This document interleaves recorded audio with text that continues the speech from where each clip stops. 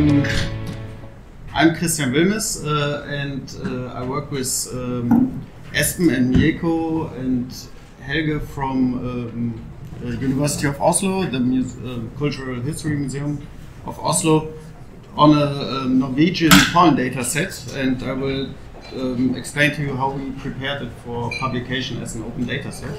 So it's more a data management and uh, open data talk. Um, the, the talk will be structured at first. Uh, at first, I will give you an overview of what this data set uh, is about. Then we will have a short look into um, current data management practices in the domain of palynology. Then some technicalities of how this data is then um, prepared and uh, transformed for uh, being able to be published as an open data set. And then some, uh, depending on the time left, uh, some like say previews on how this data will be um, applied for creating paleo-environmental informations.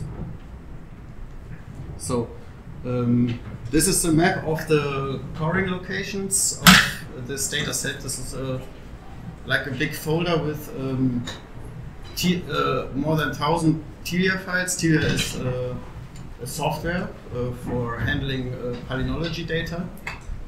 Um, these 1,000 files are about uh, 357 cores in 231 unique locations, and of this uh, 357 plus 214 have a proper age model within the data. So that's um, what we're trying to get from like this um, proprietary data format, uh, TILIA data format, which is also um, um, like um, Helge it was a professor or um, a palynologist for his career in Norway, and he started in the late 70s uh, already using computers to store his palynological data, and so we have also quite old, um, yeah. Uh, encodings and uh, yeah, first iterations of this uh, TILIA proprietary data format, so there were also some technicalities to be uh, overcome to make use of this data. so um, I already uh, had a presentation last year in Tübingen about this data set. This was more about the R aspect um, on the analysis of the data, which this data um, will be used for to create paleo-environmental uh, information and maps. So if you uh, are interested in this, um, you can download it uh, from the uh, CRC 806 database. It's a project I'm working for as an open data set. Uh, also just Google this and you might find it.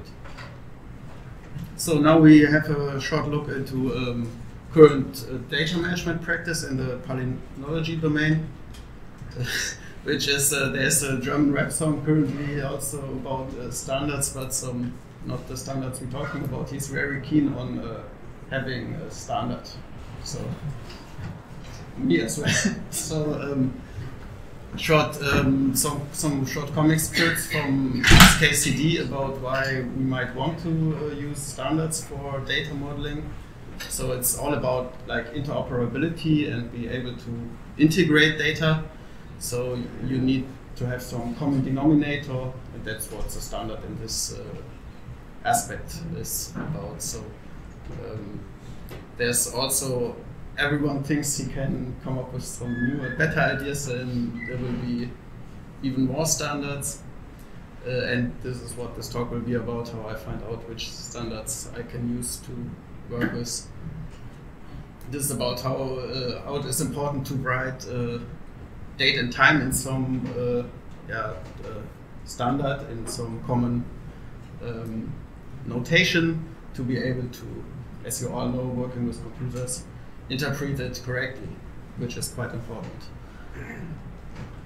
So um, we now look at some uh, existing uh, repositories and databases for pollen, of which one larger one is the European pollen database. You find this in this URL. Uh, uh, this database is um, uh, like maintained by these institutions, and they this has a really complex entity relationship diagram that you can download like a Postgres dump or Paradox was an older format for relational database uh, solution um, file and make use of it. This is quite uh, technically advanced to make use of this data set. You can't, um, if you are like um, not into administrating databases, it might be a difficult task to, to make use of this data. Mm -hmm. So, but it's quite good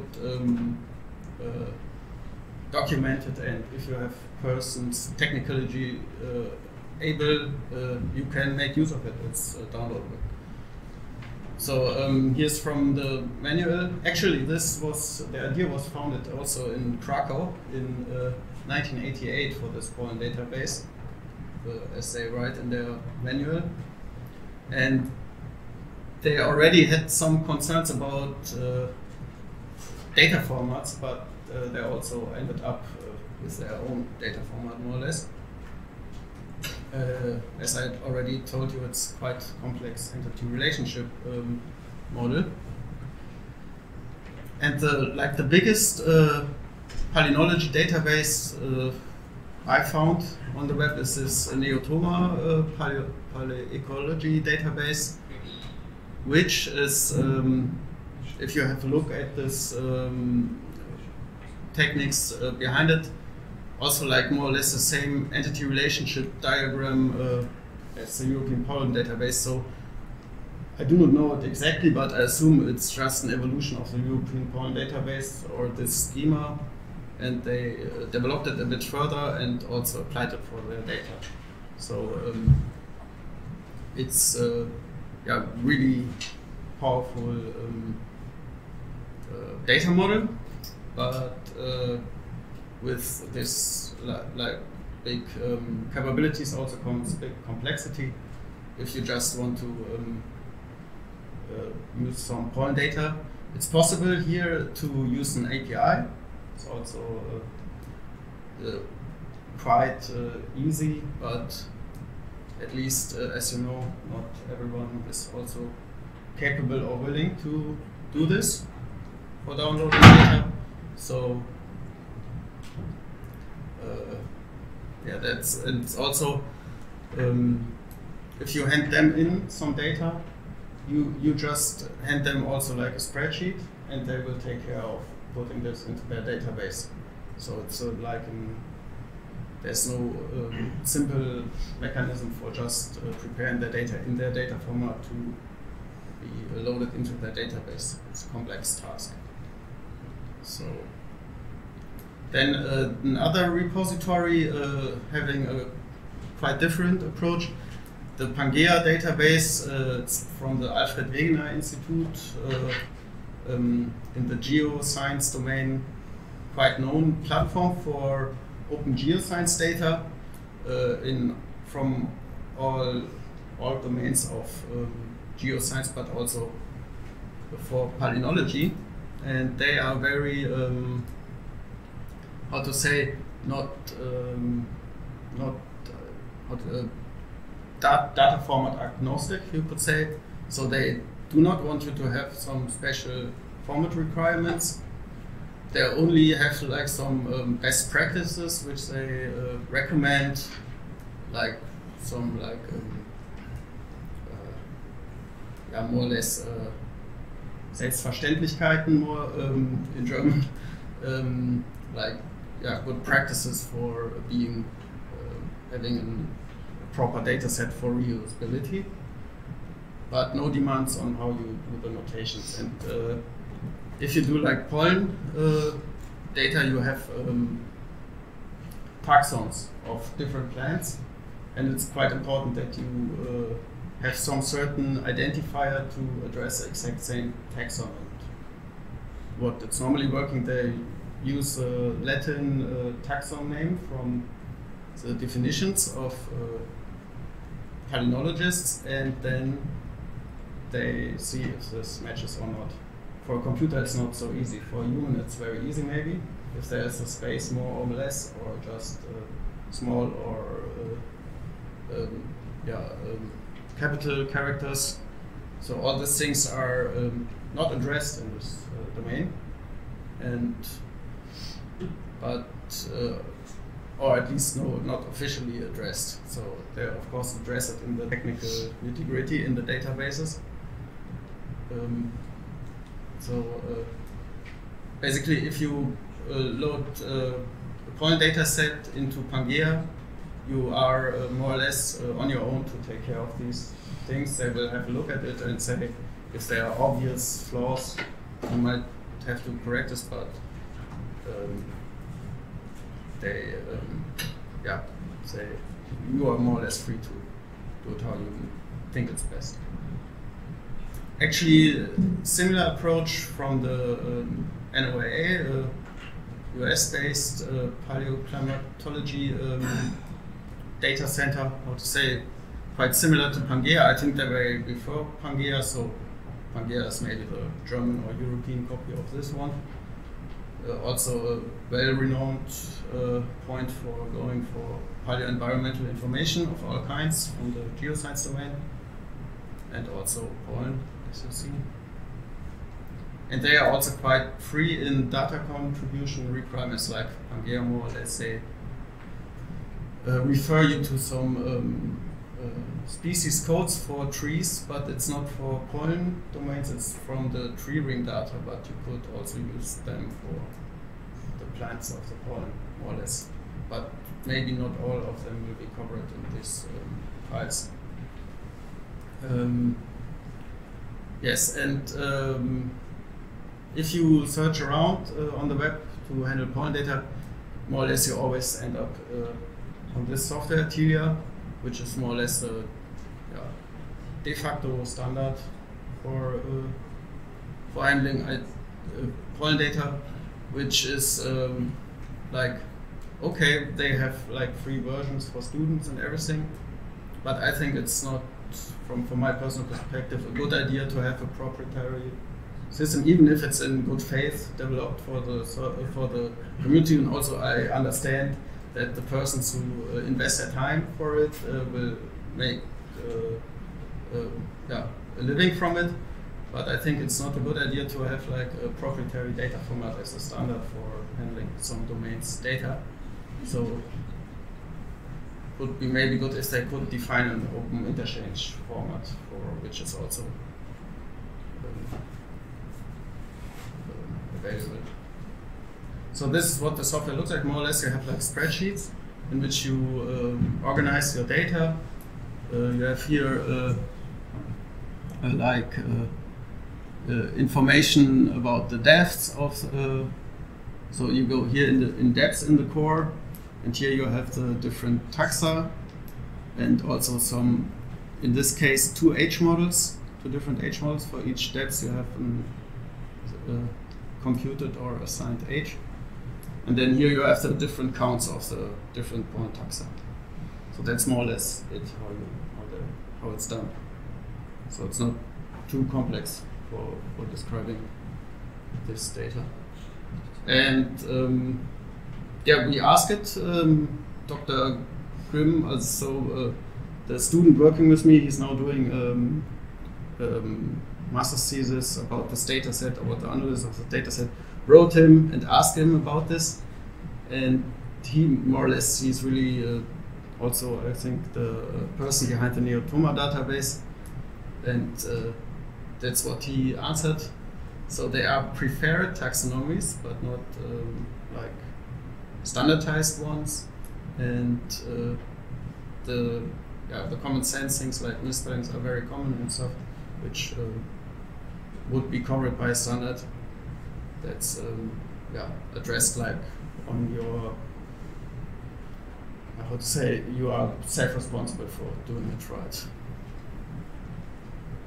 So um, he referred us to uh, this uh, table which we can download from this URL and then filter it and then we have like a table with all the taxa codes And this is what we then also applied for our um, um, uh, approach, which we kept straightforward. So this is a doxa table in uh, OpenOffice. So we have here these codes which we can apply.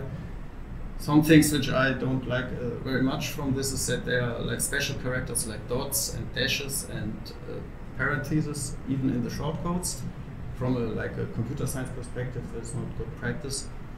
You should only have alphanumerical signs in such codes, but it works with uh, modern programming languages and stuff, so that's fine. So we, we decided to use these codes to mark up this um, Norwegian pollen data to be able to integrate it to this community. And we now plan to prepare publication for aiming first for the this high, more or less high impact journal for data sets. Um, and they also have like quite um, free um, submission guidelines. So you you deposit your data more or less in an existing repository, get an DOI, and then provide this for review with an according description of the data set to this uh, journal, which will be reviewed then. And after review, hopefully published. Uh, um, so they also do not demand any formats, it's just that it's all makes sense, more or less. This will be part of the review then, I guess. Another journal, open access journal in the domain MD from MDPI, this big journal, uh, open access publisher, they more or less do it, have like more or less the same demands for publishing a data set. So it's just uh, less uh, APC, less uh, charges for publishing it, and it has not this, um, the high impact factor, which is maybe interesting. So that's what we then have a really simple uh, schema, how to say. One meta table for this um, many files, which for any file we have just these informations. We have some overview. And um, then the data files itself also really simple as you've seen in the TIA format, just a simple CSV file with these information in for each. And uh, this would be like an example I just made up, like how it would look like, a really simple table. And this can be stored in easily accessible UTF-8 CSV file, and then it will be zipped in a zip archive accessible by any computer platform. And straightforward, simple, no relation database and everything. And everybody is free to import it then back into this relational database setup if he wants or not. And that's uh, time is up. So that's just an. Yeah, uh, I, I could ask is um, if our next speaker is here. We'll see the Kaira Bastos. You're there. Ah, okay, then we'll stop. This, um, this I already presented in the last. No, no, it's fine. I already presented this one more detailed in the, the last year's talk. If you're interested, Yeah, I don't think. Google it and you can download it. This was some um, R package um, applied to the status to uh, create other environmental information. So, thank you very much.